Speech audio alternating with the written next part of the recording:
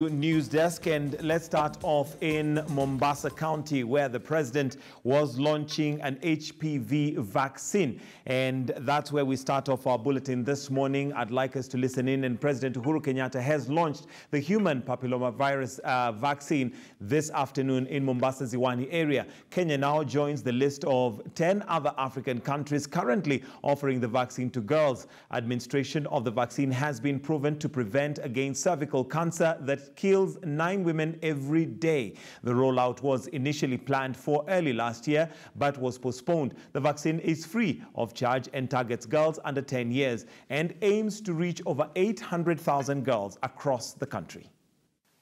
Investments have been made in strengthening cancer research, diagnosis, and management through the establishment of radiotherapy and chemotherapy units in Nyeri, Meru, Embu, Mombasa, Nakuru, Garissa, Bomet, Kakamega, Kisumu, and Machakos.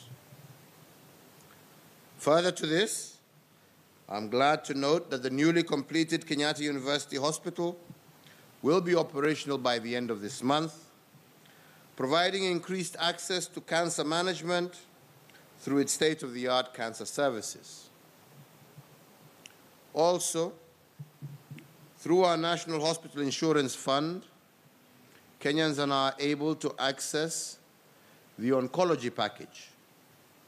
The package targets cancer management by use of basic and complex chemotherapy, radiotherapy, and support to diagnostic and staging radiology services, which so far has benefited a large number of Kenyans.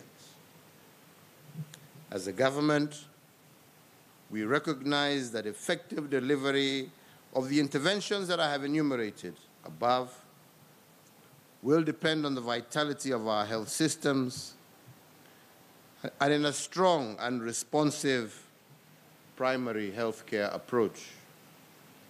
Therefore, jointly with our county governments, I believe we remain committed to ensuring universal health care coverage, currently at the tail end of the pilot phase, will be implemented at scale across the entire Republic.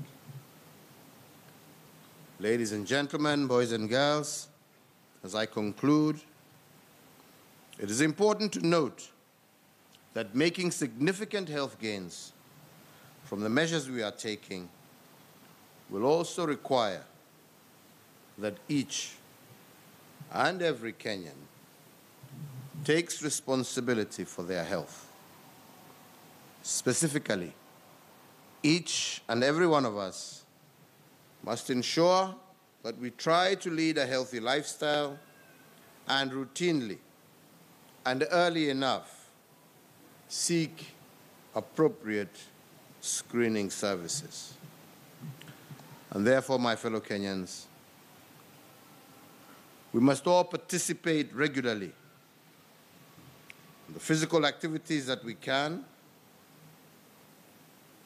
and proceed to control the use of harmful substances to our bodies.